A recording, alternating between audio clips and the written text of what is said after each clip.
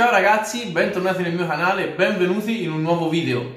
Nel video di oggi impareremo un effetto di previsione che è veramente straordinario, perché lo spettatore costruirà la sua carta passo dopo passo.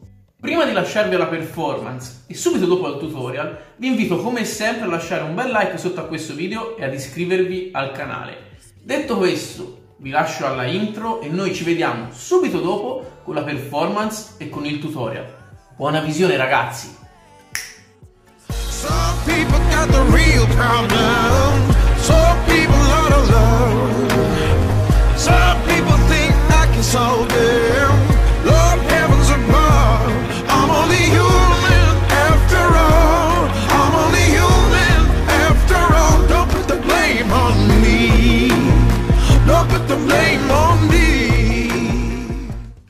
Innanzitutto ragazzi, un mazzo normalissimo, quadri, cuori, picche, fiori e la nostra previsione che è già presente sul tavolo. Il mazzo può essere tranquillamente mescolato e tagliato, non c'è nessun problema.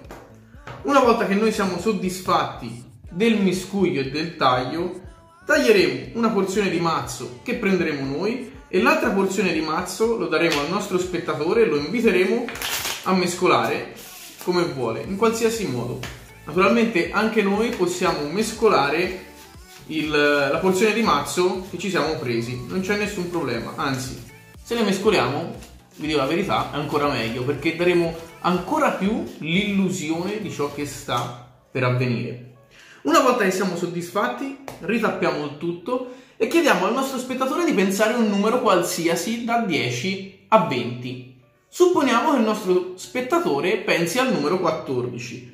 Lo inviteremo a prendere il mazzo in mano e a mettere giù tante carte quanto il numero a cui ha pensato. Noi naturalmente non dobbiamo essere a conoscenza del numero, quindi lo chiederemo al nostro spettatore, gli chiederemo di pensare a un numero.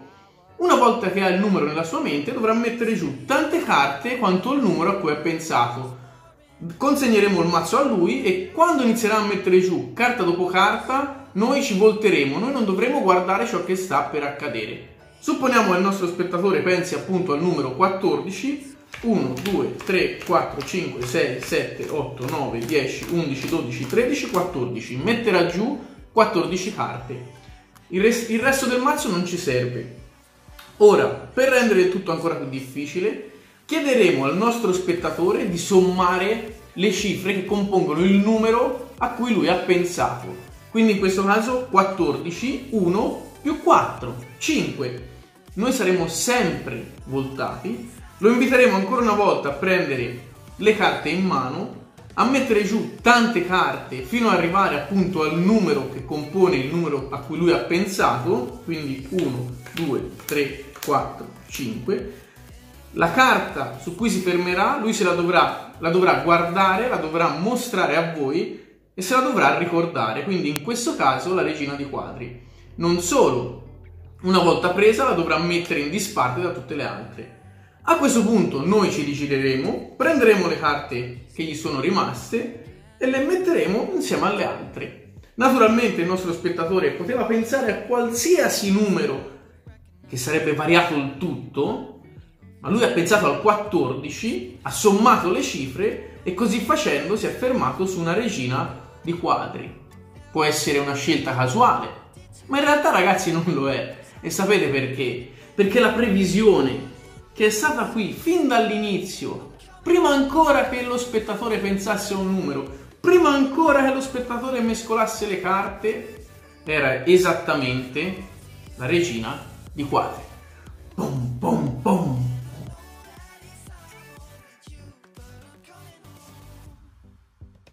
Bene ragazzi, eccoci arrivati al tutorial che devo dirvi è un qualcosa di molto semplice, è un effetto matematico ma che vi permetterà di stupire veramente chiunque. Innanzitutto dobbiamo prendere una carta previsione e questa è la scelta. Io in questo caso ho preso la donna di quadri. Dobbiamo poi andare a prendere la donna di quadri del mazzo che utilizziamo e metterla in decima posizione, quindi 1, 2, 3, 4, 5, 6, 7, 8, 9, 10. Ora bisogna stare ben attenti a fare in modo che questa carta resti sempre in decima posizione perché alla fine del tutto, alla fine dello spettatore che avrà scelto i numeri, alla fine che avrà sommato le cifre, verrà sempre fuori la regina di quadri. È un effetto matematico. Quindi andiamo a mescolare il mazzo di carte, io lo mescolo all'americana stando attenti a non mescolare le prime 10 carte, stacchete, e poi andiamo ad effettuare un falso taglio di Tamariz. E fin qui tutto semplice. Ora, volevo trovare un metodo per coinvolgere ancora di più lo spettatore. Quindi facciamo mescolare le carte al nostro spettatore, ma facciamogli mescolare quelle che non ci servono.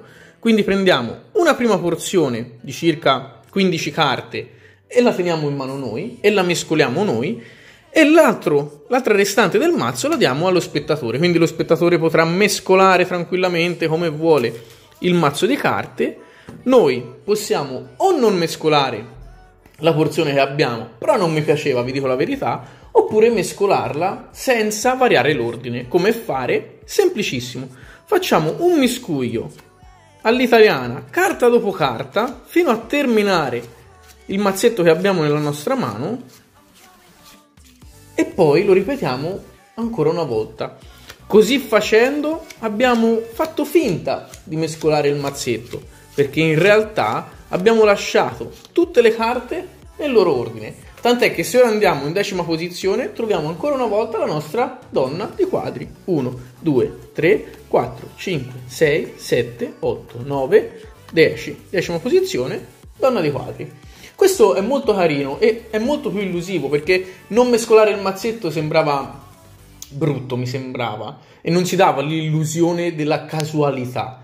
Quindi ho cercato, l'ho reso più pulito possibile facendo in questo metodo così. Una volta lo spettatore è soddisfatto di aver mescolato le sue carte, scusate, andiamo a ributtare sopra il nostro mazzetto e a questo punto chiediamo allo spettatore di pensare un numero.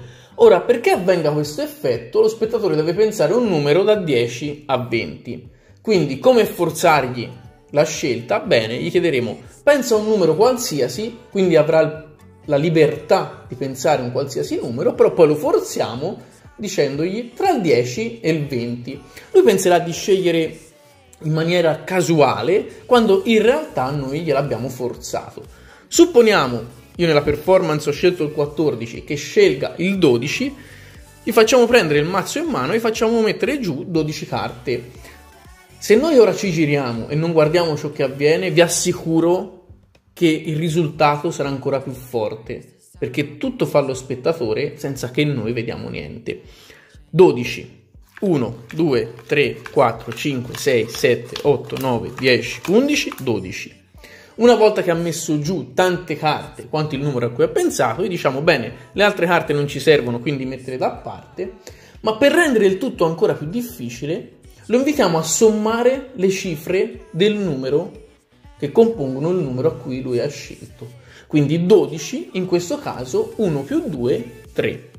Quindi dovrà mettere giù tre carte, 1, 2, 3, e diremo di ricordarsi, di memorizzare e di mettere da parte la carta che corrisponde appunto alla somma del numero scelto. E pensate bene che carta è, in quanto un gioco matematico, esattamente la donna di quadri.